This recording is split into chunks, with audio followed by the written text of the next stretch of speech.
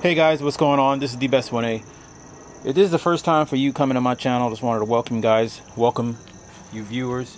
This is my V-Star 1300 Deluxe, and today what I'm going to show you is how I use my little MPOW audio connector here to play music through the bike's factory Jeep um, audio system. It uses a Zumo 665 GPS receiver, which you can see here, which is a removable GPS. Okay. And usually that has XM radio. You can play XM through there, which I do subscribe to, to but I cancel it once our riding season comes to a halt. Okay. Now, the way that this is connected, and I do have another video that prefaces this. It's a little bit older, but it shows it shows the connection on the other side of the fairing and how I take off the the cover um, and I tee into the actual audio system and how I tee into the audio system so that I can connect this MPOW in. Although I did use an older version of that it connects it, it grabs its power right here from a USB port that I have here. And then you sync your phone to it which my phone automatically syncs. you don't have to look for it or anything. You just automatically sync right up to it. So once I I have to turn the bike on, and once I turn the bike on, uh, the phone will the phone will will connect. Okay, so that's starting up now. We will open up the audio player. Go to the audio player here. Which I did have open and I have to reopen again. Alright, so we'll start the bike and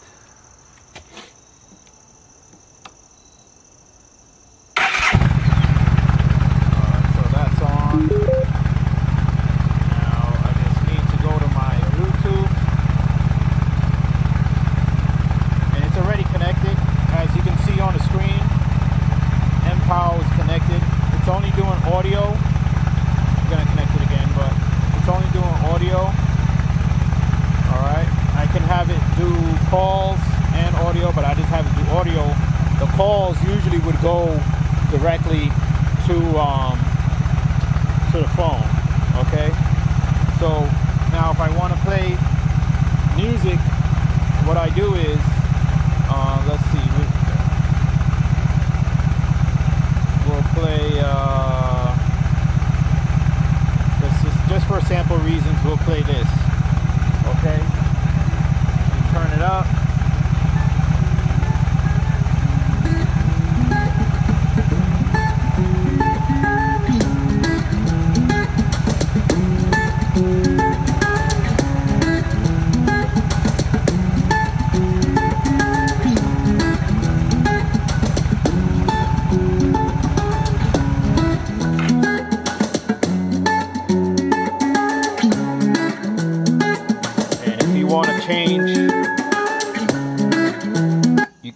Change to uh, different songs depending on what you want to depending on what you want to play.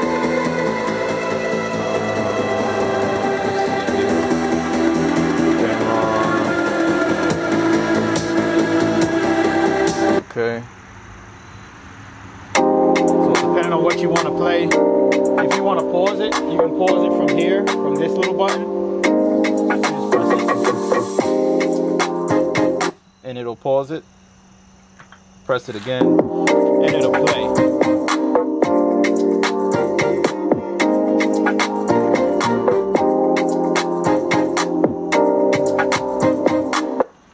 And of course these are just playing those little those songs there, but but you get an idea for how it works. Um, you have these buttons here right here and right here. Now if you want to, you can actually use those and you can change it from one song to another. Let's say if you wanna if you wanna play uh, uh, Pandora or Spotify or whatever, and you got a playlist, you want to go to the next song, you can just touch those little buttons, and it'll go to the next song. Right now, because I'm using this YouTube, not YouTube, um, yeah, the YouTube music, audio music, it's not gonna go to another song. I actually have to do that, so you know, you can sit there and you know, that's how that's how I play my music. Really easy setup. I bought it off of Amazon, which I will post a link to below, so you'll be able to see. Um, I am an Amazon affiliate, so any little anything if you do buy from there, I get a little bit of something, a little something gets kicked back to the channel. But um, yeah, so I just want to do that short video just to show you guys how this works and how I uh, this is how I get my music on my bike. All right, and again, this is a 2014 V-Star 1300 Deluxe, and and I love this method so far. It's the best.